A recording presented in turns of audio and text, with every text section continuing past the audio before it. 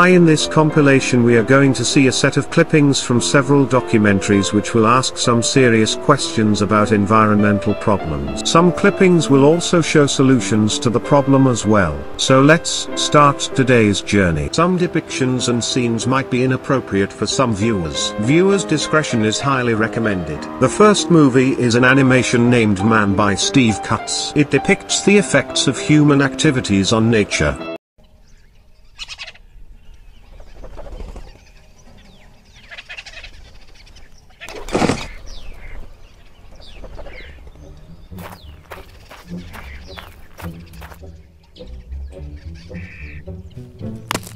Thank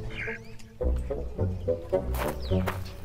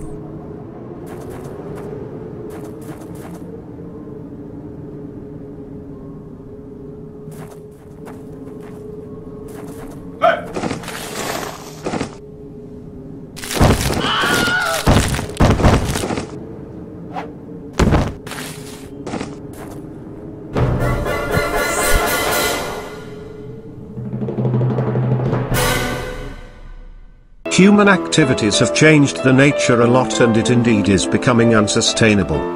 In the next movie we will see the depiction of plastic pollution.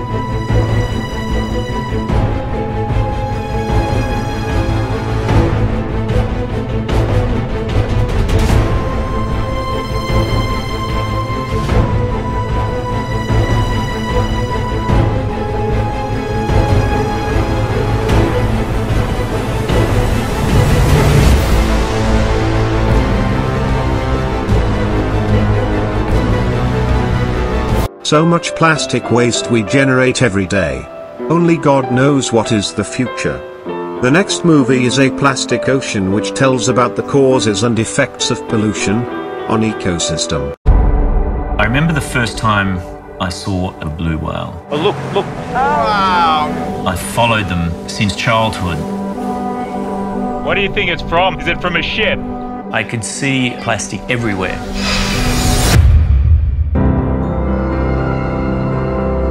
In what we thought was a relatively pristine environment.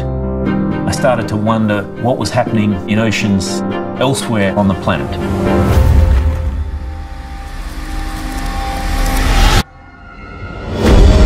Growing up, my world was the ocean.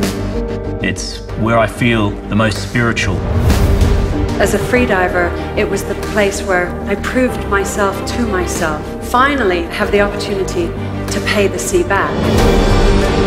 Only a fraction of the plastic that we produce is recycled. This is never going to degrade. It's got nowhere to go.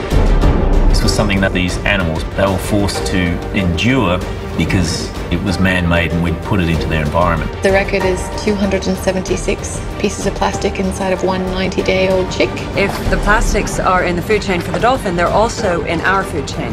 Exactly. Communities are built on these landfill sites. So sweet potatoes, corn, sugar cane, all growing on 40 years of garbage. Do you have anything not wrapped in plastic? No. No.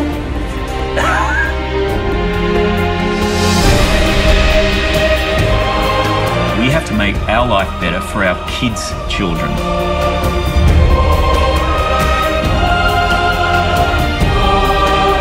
Change is possible. It starts with us.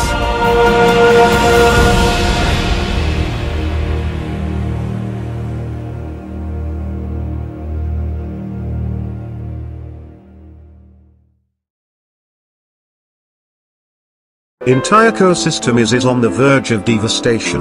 The next movie tells about air pollution and its adverse effects. Air pollution consists of chemicals or particles in the atmosphere that pose serious health and environmental threats. But what causes air pollution and what does it mean for our planet?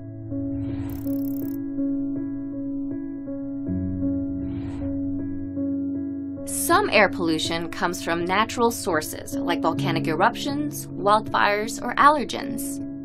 But most air pollution results from human activities such as energy use and agriculture. There are different types of human-made air pollution.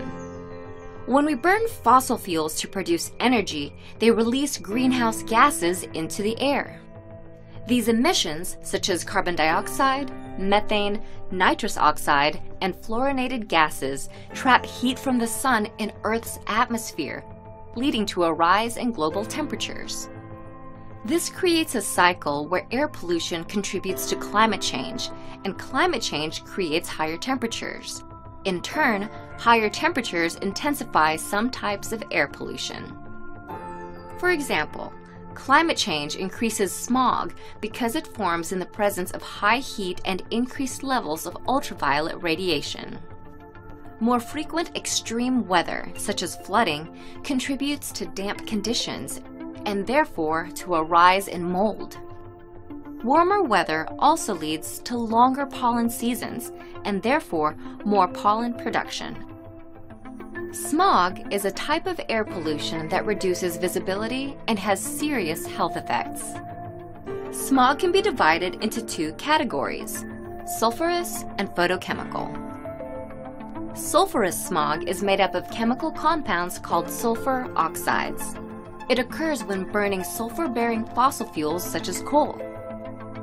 Photochemical smog, also called ground-level ozone, is a result of the reaction between sunlight, nitrogen oxides, and volatile organic compounds.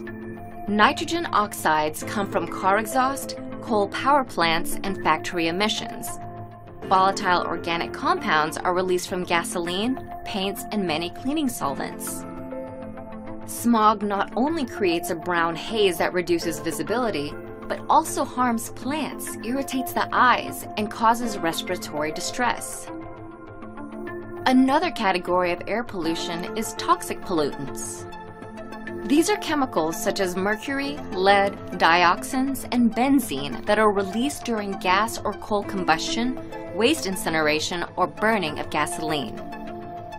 In addition to adverse environmental effects, toxic air pollution can cause serious health problems such as cancer, reproductive complications, and birth defects. While air pollution has many consequences for our planet, there are solutions. We can limit toxic pollutants, smog, and greenhouse gases by decreasing the use of fossil fuels, such as in transportation, manufacturing, and electricity generation.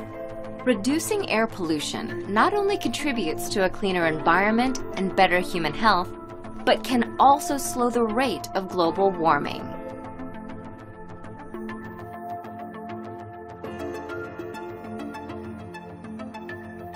Don't forget the noise as well. The world is getting louder. The next movies talks about adverse effects of noise pollution. The movies are from The Economist and Tech Insider. The ocean is often thought of as a silent wilderness, but under the surface is a symphony of sound. Sound that marine creatures rely on for their survival, to find food, to communicate, to navigate. But humans are increasingly polluting the ocean with noise, which is posing a threat to creatures, from the smallest to the most majestic. Sound is essential to marine life because light doesn't travel further than a few hundred meters underwater. Thousands of species use it to communicate, to find their way around, to spot their next meal, or ensure they're not someone else's. Noise pollution is now recognized as a major threat to ocean life. Everything that we do in the ocean introduces sound that may have an effect on the environment. There are more than 50,000 container ships that sail every day around the world. Unlike many other threats to the ocean, noise pollution is invisible which means it's often overlooked. But in 2002, the world started to take notice. 14 beaked whales stranded on the holiday beaches of Lanzarote and Fuerteventura. It was later discovered that multiple ships and submarines were operating in the area, using sonar, pulses of sound used to detect objects underwater. And This is the first time that we could associate as a um, cause-to-effect relationship that a noise introduced by the Navy sonar was leading to the stranding of these whales. Whales talk to each other through a complex language of clicks and whistles. These sounds help them to navigate and communicate. Man-made noises like sonar can disrupt this communication and disorientate them. Since this incident, the use of sonar has been associated with a large number of whale strandings around the world. But while beached whales continue to grab the headlines, Michel was keen to understand if other creatures were experiencing the same fate. A group of giant squids uh, were found stranded uh, on the beach. The post-mortem analysis didn't show any cause of the death. What he was about to discover would change scientists' understanding of the effects of ocean noise pollution this group of experts realized that a geophysics uh, experiment using high energy sound was performed a few days before this event. Oil prospecting ships had unknowingly disturbed the ecosystem below them. Although squid don't have ears, their bodies contain small organs called statocysts, which are lined with noise-sensitive hairs. In his lab, Michel and his team discovered that even low-intensity sounds destroy these hairs and knock out the squid's balance. Researchers are trying to pin down the damage that human activity is having on the ocean, and they're revealing some concerning trends. Noise pollution is most prominent in the northern hemisphere. Every decade, noise from shipping has doubled in intensity, which has been seen to have an effect on certain species of whale, reducing their ability to communicate with each other by about 60%. Air guns are the most common method used to map the ocean floor for oil and gas exploration. Their impacts have been detected 4,000 kilometres from the source and have been linked to multiple mass strandings. The South Pacific is the part of the ocean with the least human noise. The good news is that unlike other forms of pollution, the impact from noise is short-lived. If we compare sound to other sources of pollution, as soon as you switch off the sound, the effect is gone. Hi, I'm Claire and I directed this film. If you want to learn more about some of the greatest challenges facing the ocean and the people looking to solve them, then click on the link opposite. And if you want to watch more of the Protector series, then click on the other link. Please subscribe and thank you for watching.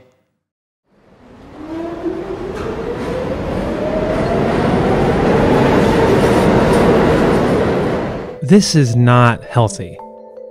When you hear about pollution, you might picture exhaust fumes, littering, or oil spills. But there's another kind of pollution you might not know noise pollution. Like any other pollution, it's a nuisance to society. Plus, everyone hates it. A few years ago, the Census Bureau uh, did a survey on what people like and dislike about their neighborhoods. And what they found was that noise was Americans' number one complaint about their neighborhoods and the number one reason why they wish to move. But comfort isn't all that's at stake. Our hearing, overall health, and well being of our children is in jeopardy. In 2016, 54.5% of the world's population lived in cities. By 2030, it's estimated that that population will grow to be 60%. Noise pollution can be found anywhere, but it's especially bad in cities. Here's a map of the loudest places in the US. Not surprising, cities top the list. They have background levels between 55 and 67 decibels. That's about as loud as the hum from your air conditioner, and it sounds like this. You'll notice that's not including random spikes of noise you hear throughout the day, like this. The human ear can tolerate noise up to 85 decibels without damage. Anything louder poses a risk of permanent hearing loss. Yet, studies show that anything at or above 65 decibels can trigger an increase in blood pressure, heart rate, and stress hormones in the blood. This is what an average New Yorker hears every day.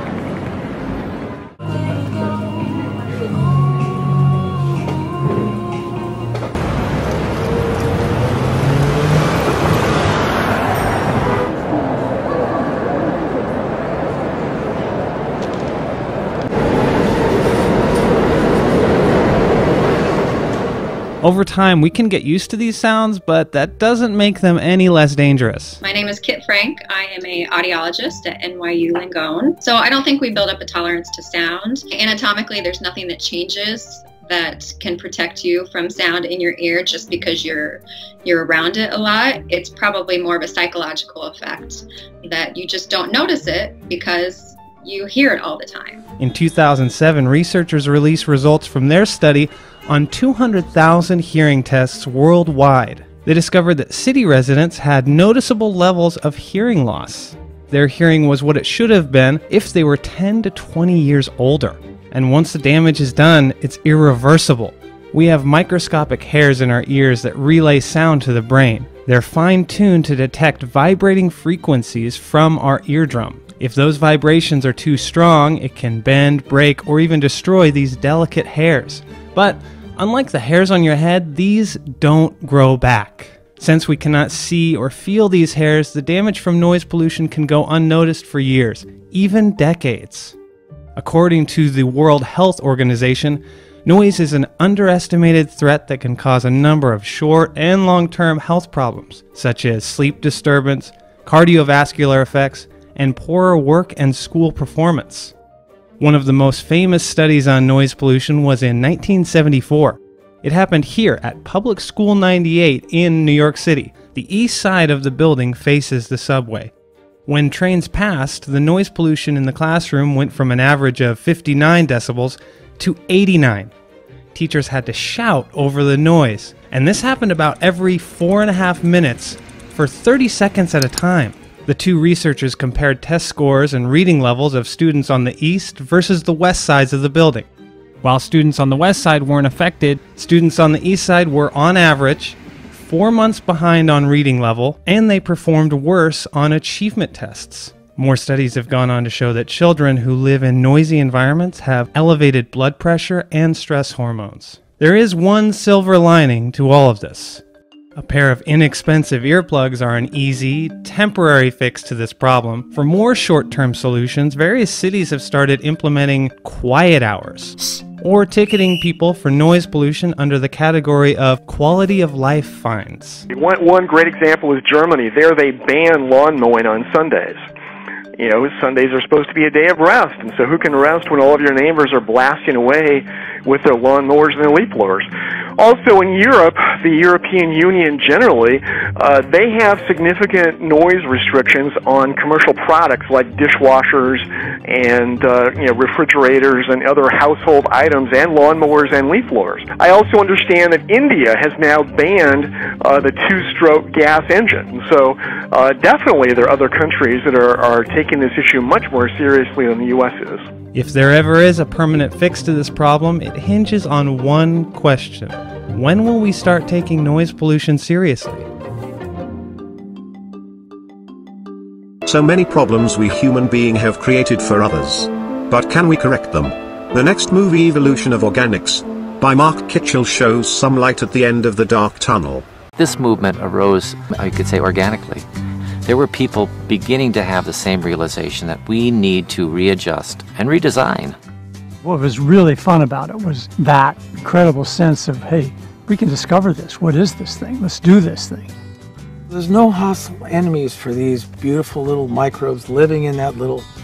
Uh, it felt good to do the right thing. We were going to grow good food. We were going to feed our friends and our families, and we were going to do the best thing we could for the environment. We're the group that put the culture back in agriculture. The local newspaper actually wrote an editorial said it was a communist conspiracy to overthrow the American food chain to question farm chemistry. We were the hottest thing in the market. We had enough organics now that we could convert uh, mass market supermarket people into organics. How we treat the food is symbolic, really, of how we treat the earth and how we treat ourselves. You're closer to that magic of how food is actually really grown. Nothing compares with the magnitude of what soil can do for sequestering carbon back out of the atmosphere and back into the soil where it used to be. Soil is the biggest single answer to climate change. Problems are there. So as the solutions. We human beings need to control ourselves as well as take corrective measures. Our appeal to the students of Techno Engineering College Banipur are that as future engineers come up with solutions, which can provide sustainable progress for us. Hope to see you on the path of illumination. Have a good day.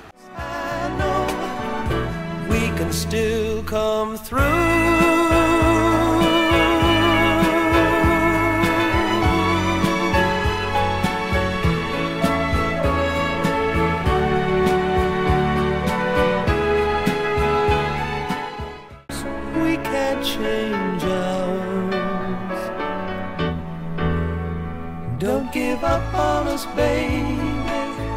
We're still worth one more try. I know we put a last one by just for the rainy evening when maybe stars are few.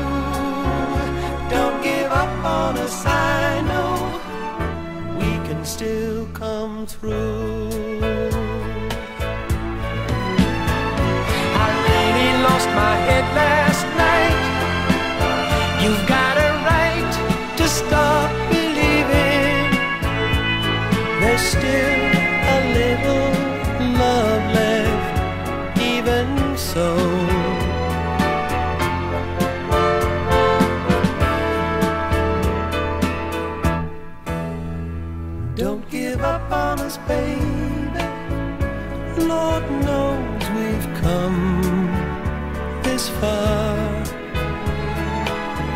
stay the way we are.